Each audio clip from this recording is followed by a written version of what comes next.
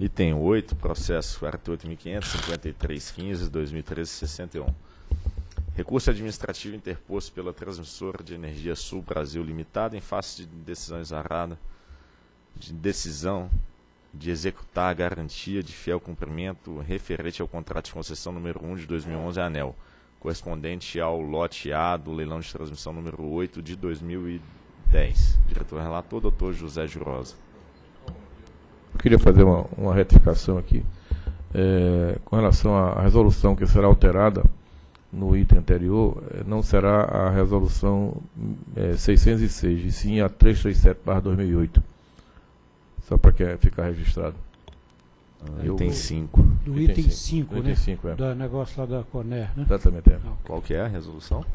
É, ao invés da 606-2014, será a resolução 337-2008. Eu vou fazer essa alteração no voto. Tá, então, Só só, uma ficar- referência da que será alterada, ao invés da 606, será 300, 337. 337. 337. Ok. Desculpa, doutor. Feita a retificação, agora vamos descansar o doutor Reive e passar para o doutor Jurosa. Né? até o fim. A Transmissora de Energia Sul Brasil venceu a licitação do lote A no edital de transmissão 2008, número 8 2010, e, aportar, e após aportar garantia de fiel cumprimento por meio de uma apólice de seguro emitida pela Austral Seguradora, no valor de 15 milhões, celebrou com a ANEL o contrato de concessão 01-2011. E conforme a quinta subcláusula da cláusula segunda do referido contrato, as instalações deveriam entrar em operação comercial no prazo de 24 meses, contados a partir da data de assinatura, ou seja, 27 de julho de 2013. Como as obras não entraram em operação na data prevista, a SCT encaminhou em 28 de agosto de 2013 comunicação da expectativa de sinistro, tanto para a TESB como para a Austral Seguradora. Na ocasião, foi concedida à TESB o prazo de 10 dias para se manifestar. Não tendo recebido manifestação na, da transmissora, no referido prazo, a SCT requereu à seguradora, em 17 de setembro, a execução da pólice segura.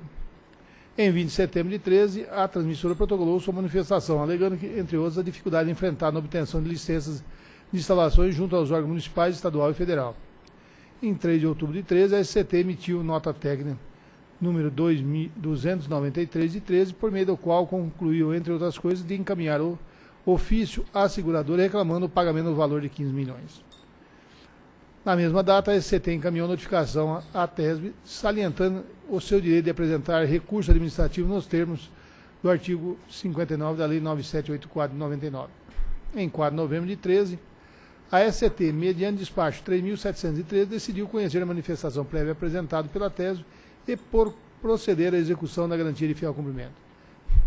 Em 26 de novembro de 13, a Austral Seguradora protocolou correspondente por, por meio da qual solicitou cópia da notificação enviada ao tomador indicando os itens do contrato principal não cumpridos e a cópia da, da resposta do tomador com a justificativa do descumprimento das obrigações.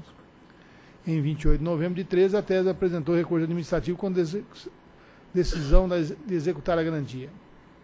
E no dia 2 de janeiro de 13, a Austral Seguradora protocolou nova correspondência, externando seu entendimento de que, como a TESB apresentou justificativo quanto ao atraso da operação, o sinistro não merece prosperar, já que não foi esgotado o âmbito à defesa e o contraditório assegurado à transmissora. A SCT, após receber manifestação da Procuradoria-Geral a respeito da contagem de prazo para interposição do recurso, emitiu nota técnica número 19 de 14, por meio da qual concluiu não haver razão para rever a decisão anteriormente proferida. Assim, por meio do despacho 490 de fevereiro de 14, a SCT decidiu reconhecer o, o recurso apresentado pela tese e no mérito negar de provimento. Em seguida, remeteu os autos para deliberação da diretoria. Na sessão de sorteio público ordinário número 12, realizada em 24 de março de 14, o assunto foi a mim distribuído. É o relatório. Procuradoria. A Procuradoria foi consultada em relação a esse processo em quanto a tópicos processuais e ar- argumentações levantadas em correspondências. Essas análises foram feitas no parecer 10 de 2014, suscitando, eh, respondendo algumas dúvidas suscitadas pela SCT. né? Duas delas dizem respeito à, à contagem de prazo, prevalência da resolução da 273 da ANEL em face da, da Lei 9784. Nossa avaliação é que não é exatamente uma questão de, de prevalência, mas o fato é que, em se tratando de intimação para a prática de um ato por parte do agente, ainda que ocorra a publicação no Diário Oficial, a contagem do prazo conta da intimação pessoal e aqui a intimação era para a apresentação de defesa prévia. Então a nossa avaliação é que a contagem é, processual conta do dia seguinte ao recebimento de de ofício que é constatado aqui por uma correspondência com a R. o terceiro ponto diz respeito à necessidade à avaliação da suspensão do prazo para interrupção de para interposição de recurso, tendo em base é, com fundamento pedido de cópia. Né?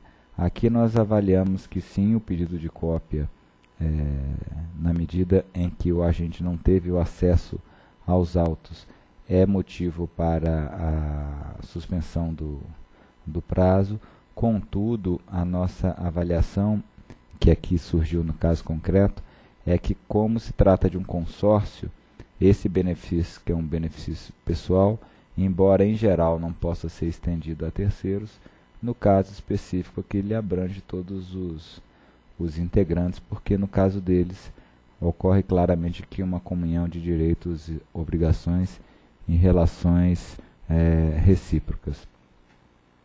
E houve também uma, uma consulta aqui em relação à questão da, do pagamento de arras, e a Procuradoria entendeu que são situações bastante distintas a, a contratação do adiantamento né, de, por parte dos contratantes que tem essa figura do direito civil das arras que não se confunde com a garantia de, de fiel cumprimento, que diferentemente daqueles não é uma, uma sanção e sim uma, moda, uma modalidade de satisfação de uma obrigação que está no, no contrato. Então são essas as considerações da Procuradoria constantes do parecer 10 de 2014. O atraso nas obras sob responsabilidade da tese é incontroverso já que o prazo contratual para entrada de operação era 20, 27 de julho de 13. Por ocasião da emissão da nota TECO 19, ou seja, em janeiro de 14, as obras já estavam bastante atrasadas e tinham a seguinte expectativa de entrada em operação. Era para o final, a mais distante, 15 de junho e a primeira, 25 de maio de 14. E de acordo com o relatório de acompanhamento dos empreendimentos de transmissão em 13 de maio, disponibilizado pelo sistema de gestão da transmissão, as novas previsões são o seguinte. A melhor das hipóteses, que é a linha Porto Alegre 9 a Porto Alegre 8, é 10 de novembro de 14 e a última é a subestação de Restinga, com a linha de Restinga Porto Alegre, em 10 de janeiro de 15. Conforme pode se observar, o atraso será ainda maior, já que cinco obras estão com previsão para o último trimestre desse, desse ano e duas obras estão previstas para entrar em operação somente em janeiro de 15.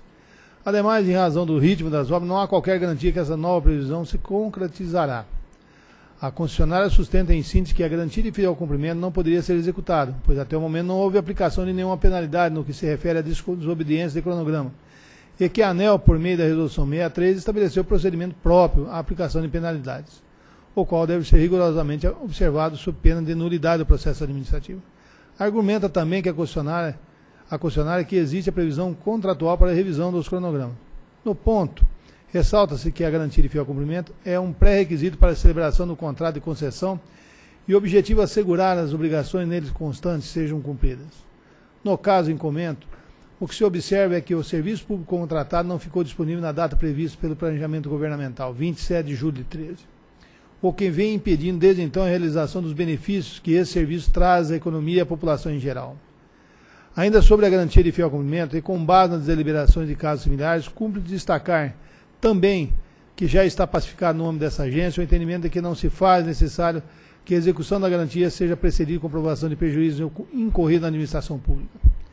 Isso porque, primeiro, o, o, prejuízo é consequência imediata e inevitável do atraso ou da ausência da entrega do objeto contratado. Segundo, defender o contrário significaria afirmar que a administração realizou licitação desnecessária ou fixou a esmo o prazo para a entrega das obras. Terceiro, exigir a comprovação do prejuízo burocratizaria o processo, desvirtuando a essência e a finalidade da garantia, que são precisamente às de viabilizar a execução célere e eficaz, de maneira a conferir segurança no negócio jurídico. E quarto, a Lei 866 de 93 e o edital não exige a demonstração do prejuízo como antecedente da execução de garantia de fiel cumprimento. E com relação ao comentário apresentado pela concessionária sobre a possibilidade de revisão do cronograma em fase das dificuldades na obtenção de licença de instalação, por exemplo, observe que a SCT já havia salientado que as justificativas apresentadas não foram capazes de justificar sua revisão. Portanto, uma vez caracterizado o descumprimento do cronograma de implantação e tendo sido oportunizado o direito ao contraditório, contraditório e à ampla defesa pelo interessado, a execução da garantia de fiel cumprimento é medida que se impõe.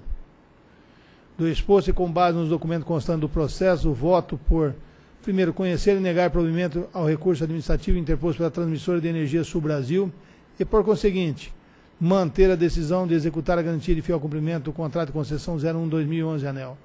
E, por fim, voto por determinar a SCT, em conjunto com a PGE, que envie todos os esforços necessários para garantir a execução da, da referida garantia. É o voto. Em discussão. Em votação. Eu voto com o relator. Também voto com o relator. Proclamo que a editoria decidiu por conhecer e negar provimento ao recurso administrativo interposto pela transmissora de energia Sul Brasil Limitada e, por conseguinte, manter a decisão de executar a garantia de fiel cumprimento do contrato de concessão 001-2011 ANEL. Também por determinar que a SCT, em conjunto com a Procuradoria, evite todos os esforços necessários para assegurar que a execução da garantia se verifique. Próximo item.